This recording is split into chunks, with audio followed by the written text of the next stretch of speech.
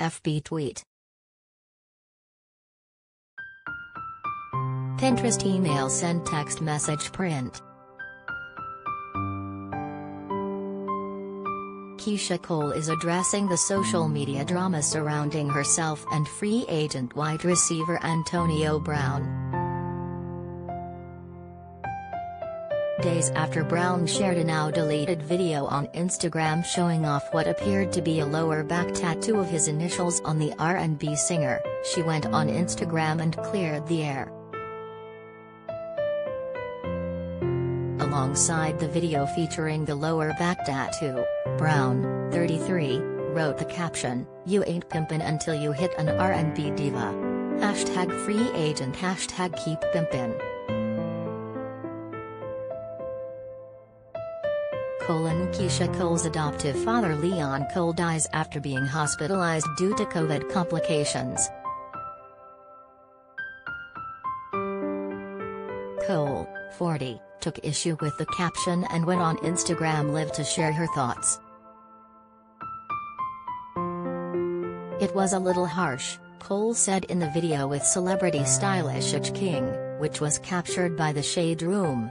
Maybe he doesn't know that it was a little harsh for him to say that. Even me speaking to him, he was like, Do you want me to change the caption? And I was like, No, I don't want you to change the caption.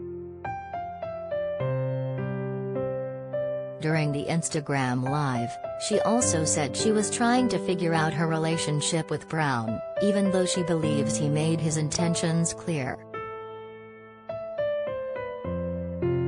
I think he made it very clear, she said. He was like, baby, I liked you at first, but now I don't, it's a no. Meanwhile, Cole also posted and quickly deleted a message on her Instagram story suggesting she was still upset about his posts, according to a screenshot obtained by the Shade Room. Video Antonio Brown is no longer a Buc after leaving during mid-game incident, says Tampa Bay coach. Yeah I was big trippin', SMH I see it now, she wrote. I have a 12-year-old. Like that type disrespect for what, nothing is worth that level of disrespect, especially when you don't deserve it. Had so much love, respect and admiration for ya. Guess that wasn't mutual either. Shortly after her messages, Brown went on Instagram Live with another message. Keyshia Cole, I'm a player man, he said in a video obtained by the outlet.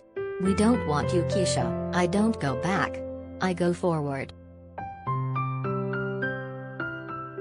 A rep for Brown did not immediately respond to people's request for comment. The pair collaborated on Brown's single Don't Leave off his rap album Paradigm which released in April. During an interview with TMZ at the time, she sang his praises. I think Hess really talented, for sure, she said. I love the body of work that he created. I think Hess gonna be great. I do. I wouldn't have collaborated if I didn't think he'd be great.